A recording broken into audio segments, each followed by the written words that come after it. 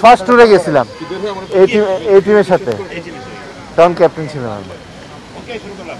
আকরাম ভাই নিউজিল্যান্ডের মতো দলের বিপক্ষে আমরা ওই কন্ডিশনে জয়। আসলে এরপরে বিং ফর্মার ক্যাপ্টেন হিসাবে একেবারে আপনার অনুভূতিটা যখন জয়টা পেল তখন। না ফ্যান্টাস্টিক মানে আমি মনে করি বাংলাদেশের আহ, কয়েকটা অ্যাচিভমেন্টের মধ্যে এটা একটা।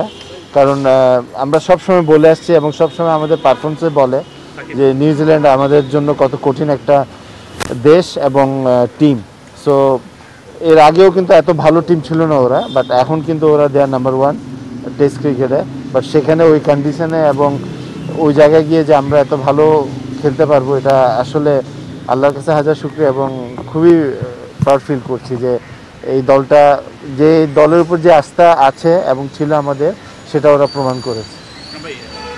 ছিলেন ইয়েতে ক্রিকেট অপারেশন সো এভরিথিং যখন যা প্ল্যাটলেট সবই ওই জিনিসটা চিন্তা করলে একটু কেমন লাগে যে আসলে না না দেখেন মনে করেন যে খারাপ সময় হলেও কিন্তু এটা- আমরা সব সময় কিন্তু একটা আমব্রেলায় থাকতে আছি এবং সবাই মিলে কিন্তু সব কাজ করি। এখানে যে আপনার হয়তো কিছু পরিবর্তন হয়েছে তার মানে এটা না যে আমরা সবাই ক্রিকেট থেকে সরে গেছি। এটা প্রত্যেকটা জিনিসই ভেরি ইম্পর্ট্যান্ট আপনার এবং প্রত্যেকটা সাকসেসও যেমন আমাদের কাছে ভালো লাগে আমরা এবং প্রত্যেকটা মনে করেন যেটা আমরা ফেলার হই সেটাও কিন্তু আমাদের কাছে অনেক খারাপ লাগে। সবচেয়ে ভালো হলো যে আমরা অ্যাজ এ টিম আমরা কাজ করে এবং ইনশাল্লাহ এটা করে যাব। আকরাম ভাই লিটন ইবাদতকে দীর্ঘদিন ধরে কোচরা এবং নির্বাচকরা ব্যাক করেছে। এখন তারা ডেলিভার করা শুরু করেছে। এক্ষেত্রে এটা ম্যানেজমেন্টের আলাদা একটা অ্যাচিভমেন্ট কিনা? না ডেফিনেটলি ওই যেটা বললাম শুরুতে যে আপনার প্লেয়ারদের উপর কনফিডেন্সটা হলো ভেরি ইম্পর্ট্যান্ট আপনি কারণ আমি বাংলাদেশ দলের সাথে অনেক দিন ছিলাম বাট এই ধরনের ফাস্ট বোলিং অ্যাটাক কিন্তু আমরা আগে এরকম পাইনি। আমাদের আপনার কিছু ছিল, যেমন আইকন হিসাবে আসছিল মাশরাফি সে কিন্তু যখন আসছিল কিন্তু সে একা ছিল। বাট এখন কিন্তু দুই, তিনজন ভালো করছে। তো আমার মনে হয় আমাদের যে সমস্যাটা হলো ধারাবাহিকতা কনসিস্টেন্সি যদি আমরা প্রত্যেকটা জায়গায় যদি আল্লাহর মতে করতে থাকি, তাহলে ইনশাল্লাহ এই দলই কিন্তু একসময় অনেক ভালো হবে।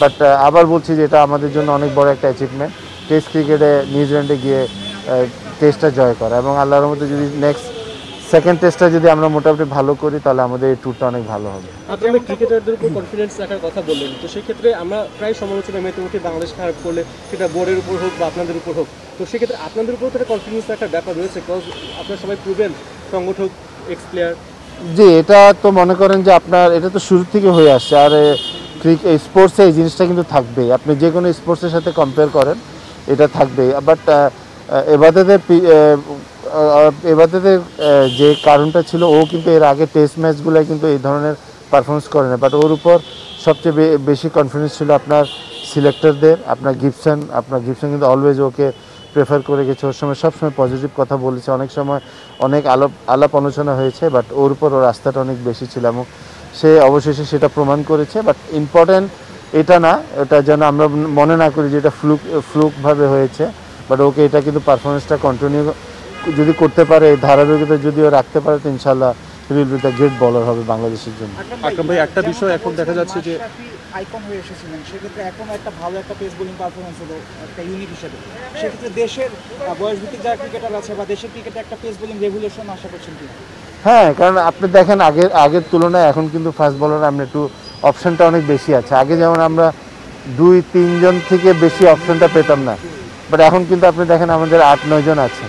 এটার কারণটা হয়েছে যে আপনার, আমরা যখন ন্যাশনাল লিগ খেলতাম বা ডোমেস্টিক ক্রিকেট একমাত্র বঙ্গবন্ধু ছাড়া অন্য জায়গায় কিন্তু আপনার উইকেটগুলোও কিন্তু আপনার অনেক ডেভেলপ করেছে। আপনি ন্যাশনাল লিগে যে খেলাগুলো হচ্ছে বিসিএলে যেগুলো হচ্ছে সেখানে।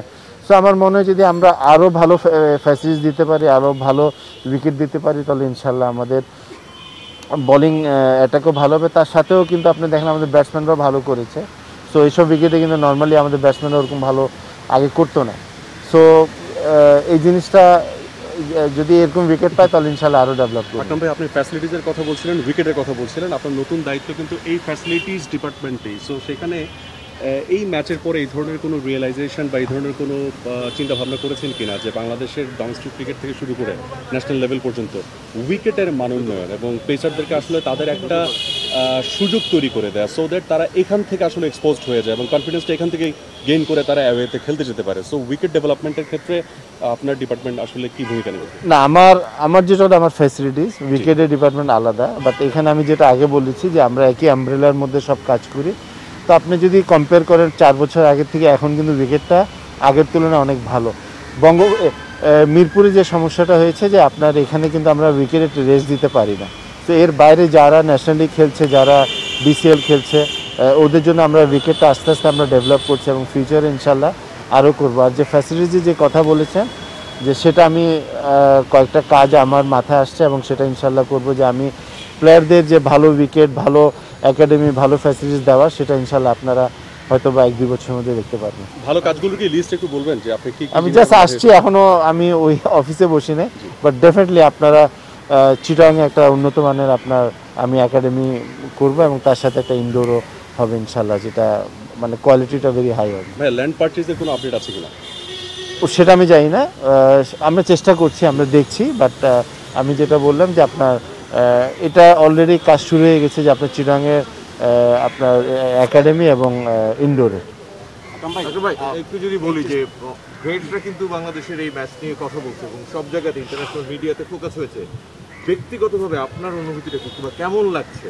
সারা বিশ্ব কথা বলছে না এটা তো আমি আপনাকে শুরুতে বলছি যে আমাদের কয়েকটা অ্যাচিভমেন্টের মধ্যে এটা ওয়ান অফ দ্য বেস্ট কারণ এটা ভালো লাগছে এবং গ্রেটা যেহেতু বাংলা সম্বন্ধে ভালো বলছে সেটা শুনতে অনেক ভালো লাগে, কেননা ম্যাক্সিমাম তো আমাদের সঙ্গে নেগেটিভ বলে। আমাদের ভালো শোনাটার অভ্যাসটা নেই। বাট এই প্লেয়ারদের জন্য আজকে যে ভালো শুনছে এটা রিয়েলি ফিলিং ওয়েল এবং খুব ভালো লাগছে যে এই ক্রিকেট নিয়ে আমরা কাজ করছি এবং এখানে বাইরের গ্রেড যারা পজিটিভ বলছে, তো ইনশাল্লাহ এটা আমাদেরকে এনকারেজ করবে যেন ফিউচারে ওরা যেন আরও বলতে পারে, সেই হিসাবে আমরা কাজ করে যাব। চট্টগ্রাম একাডেমির কথা বলছিলেন একটা ভালো মানের একাডেমি হবে সেখানে ড্রপ পিচ আনা বলে আনা হবে বলে একটা কথা শোনা যাচ্ছে এটা কতটুকু সত্যি?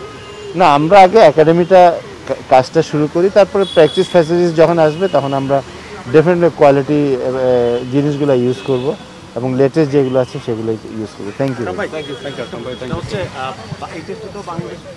ড্র করতে পারলে এটা অনেক বড় একটা পজিটিভ রেজাল্ট হতো সেখানে আমরা জিতেছি। তো এই জায়গা থেকে আসলে আমাদের সিরিজ জয়ের সম্ভাবনা কতটুকু? আর বিদেশের মাটিতে এটা ষষ্ঠ জয় এটা আপনি বেস্ট না আমি তো বললাম আমি বললাম এবং ইম্পর্টেন্ট যেটা আমি এই কথাগুলো আগে বলেছি সেকেন্ড টেস্টটা হলো ভেরি ইম্পর্টেন্ট ওটাও যদি আমরা ভালো করতে পারি এবং ভালো করাটা উচিত যেহেতু বলিং ব্যাটিং ফিল্ডিং তিনটা ভালো হয়েছে তো আশা করছি ভালো করবে। Thank you thank you so much thank you